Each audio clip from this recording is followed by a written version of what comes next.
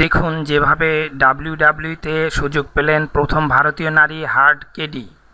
প্রথম ভারতীয় হিসেবে ডাব্লিউডাব্লিউ এর women tournament the Mae Young ক্লাসিকে সুযোগ পেয়ে নজর গড়লেন কবিতা দালাল।